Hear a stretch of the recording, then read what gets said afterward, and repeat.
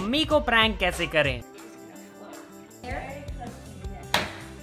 नहीं, माफ़ कर। प्रैंक वैंक से हमारा सारा रिश्ता यही खत्म होता है गाइस क्योंकि इसके चक्कर में मैं अगला एक हफ़्ता फुटपाथ पे नहीं बिताना चाहता।